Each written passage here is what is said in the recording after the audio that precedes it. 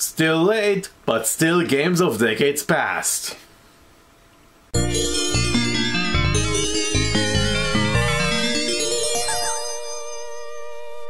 Let me clarify one important thing before I go on and talk about the game for September of 2003. Games of Decades Past is not a review. It's only served as my self-reflection of a game that came out a decade ago, and I give a really general, not very specific or analytic perspective on uh, what I think about it, basically. So, if you want to review about it, maybe down the line, maybe if enough people recommend me to review a game, I will do it. But those are really like short and to the point um, opinions of a game that came out. Um, for example, one of the games I really wanted to talk about on September that came out a decade ago was Billy Hatcher and the Giant Egg.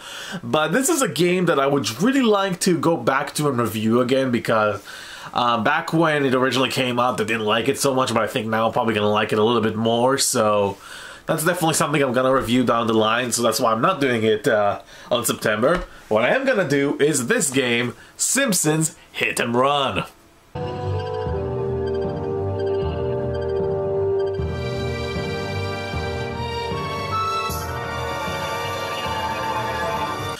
Lot of games really came out in September of 2003. There's a lot of mediocre ones, but um, Simpsons Hit and Run is probably one of the better ones, if not the best game that came out during September. That being said, it's not the best game of 2003. I actually think it's one of the games that aged more um, than all of the games I've pretty much talked about so far in games of decades past. Um, it's pretty much Grand Theft Auto Simpsons, but uh, it still has like its own like you know unique twist that I really like um, compared to like other Grand Theft Auto clones. I really like the idea that you can also explore both Springfield on foot and on a vehicle, which is really nice. I like the jumping controls is really fluid, and you can find all those different coins and little like secrets uh, hidden all over Springfield, which is really big and fun to explore. And the driving physics are also really fun, in a sense that they're not realistic at all. I mean, uh, it's even less realistic than Saints Row, but then again, it's still easy to get into and I really had a lot of fun driving in that game because of uh, the physics and how it's really easy to control how to even do the drifting mechanic which I have hard problems in games even like Grand Theft Auto 5 for example. That being said, uh, the driving is the majority of the game, which I kind of wish there were more on foot missions, but um, I'm not a huge fan of the driving because uh, they have specific mission types, and one of the types I don't like is the racing, because the enemy AI for the racing is really, really annoying when they run into a, a, car, they just blow right through it. Whereas if you run into a car, you have you pretty much get stopped, and you have to reverse and then pass the car, which loses a lot of time, which makes the opponent pass you really easily. You get the idea of it, but if you have to do about 20 tries to get it right, I think that's uh, something that's really unfortunate. And also, there are many times during a race when you do a mistake and there's uh, an incoming car, incoming traffic, and it just runs into you, tips you over, and then you spin 180 degrees and you have to realign yourself. That right there ruins an entire race. Now, this is not a new in racing game that basically one mistake can make you go from first to sixth. Many games do that, but with this game, you can barely survive if you make a mistake like that. You may have to you have to make sure you run perfect from beginning to end. And that to me was really frustrating, especially when I was playing the game again, that half of the missions were like that, and I didn't enjoy that. Thankfully, there are also some really fun missions too that you have to collect items throughout Springfield, like uh, monkeys, for example, which I thought was really fun. You also have to get rid of like um, chasers as well um, for a limited amount of time, just kind of like escape their um, uh, cone of vision, so to say, similar to how Auto 4 and 5 did it too, which um, I really liked, and it's very funny. Obviously, it's The Simpsons, so it has really funny dialogue, great voice acting from the show.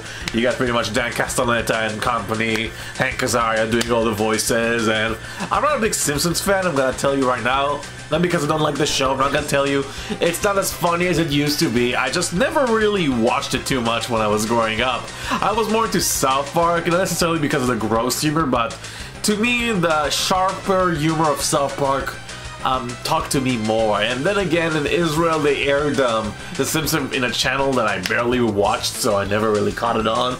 Though I do want to go back, you know, and watch some of the older episodes because a lot of them are, of course, really funny, especially the older ones. And I love the movie, so obviously they incorporated the humor and the love from those um, shows and movie to the game, and I can tell and it's definitely probably the funniest of the Simpsons games. I didn't really like, you know, uh, Road Rage all that much. I thought the newer uh, The Simpsons game that they made in 2007 was eh, mediocre. I thought it was kind of a lame beat 'em up that I personally didn't really like all that much.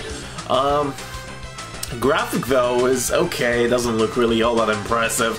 I was actually surprised how dated the animation is and how, even though like it looks cartoony, how the graphics themselves are really like very polygonal, simplistic. Kind of wish it had more of like that cel shaded look that uh, the 2007 game has, which I will say, look, that game looks better than Hit and Run.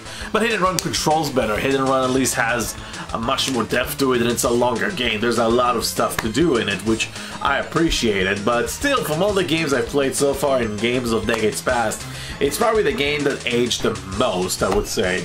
Um, it doesn't really feel, um, you know, as solid as open world games have evolved ever since, but I still believe it's the best Simpsons games. I would put it over the arcade game personally because I enjoyed playing it, even though I really got frustrated with the missions, and I really hate the fact that when I get a game over, I have to go all the way back and do, you know, the mission again from the very beginning. But you know what? That's what you kind of have to do sometimes with games, so I, I dealt with it. It's not something I would rate really high, but if you're a Simpsons fan, this is a treat.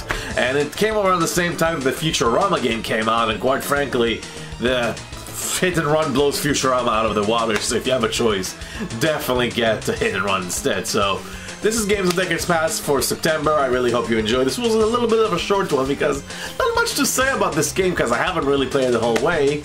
But um, I hope you enjoy it, and I have a lot to talk about in October, which is this month. I'm well aware of that, but things are a bit trickier with me right now because I have a full-time job, I have full-time school, so I'm trying my best to release as much video as I can, but um, I will try my best to get uh, the next one if not in October, at least a few days into November. So thank you for watching, guys. And uh, you know what I'm gonna say by now, guys. Honestly, uh, you know I don't really have much to show for September, so blah.